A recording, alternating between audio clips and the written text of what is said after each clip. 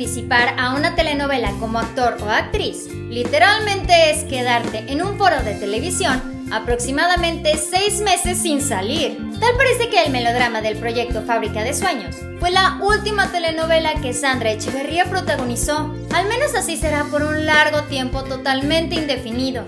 La actriz se despide de su carrera actoral. Pero no te preocupes, a Sandra Echeverría la seguiremos viendo, porque ahora busca incursionarse y labrar su propio camino en el regional mexicano. A lo largo de los años hemos podido ver cómo este camino es liderado por hombres, pero en la actualidad muchísimas mujeres ya están dejando huella, por lo que Sandra no quiso ser la excepción. Curiosamente, Sandra Echeverría estará de regreso en la televisión, con la retransmisión de La Fuerza del Destino. Esto pasa al mismo tiempo que Alista, su producción discográfica, con la cual está entrando por la puerta grande al género de regional mexicano. A través de una pequeña entrevista, con sus propias palabras, Sandra mencionó, en estos momentos voy a estar más enfocada en la música que en la actuación. Creo que le he dedicado mucho tiempo y prestado más atención a mi carrera de actriz a lo largo de estos años y ahora es para dedicarme a este disco que todavía no tiene nombre, pero que ya tiene 14 canciones espectaculares.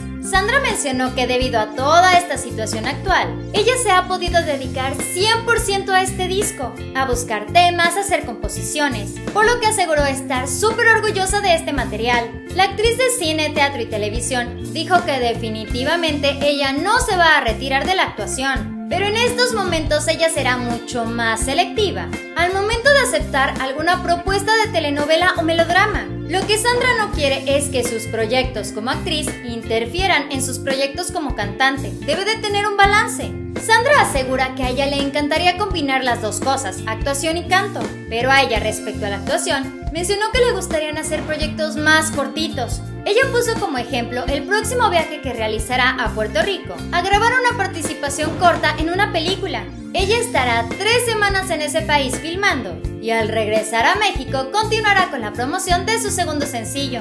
La melancolía, el romanticismo y la nostalgia serán el corazón, que acompañará las letras de estas 14 canciones, las cuales déjame decirte que prometen bastante. Sandra dijo que en este disco escucharemos un poco de todo, canciones de amor, de desamor, de esas que cantas con todo el deseo, con unas cuantas encimita. Desaparecer es la carta de presentación de este material, el cual al parecer ya está totalmente terminado, pero poco a poco irán develando cada canción. En este primer tema Sandra nos deja el mensaje bastante claro, dejar el sentimiento atrás, un aliento para el empoderamiento de la mujer, Definitivamente estaremos bien al tanto de su carrera musical.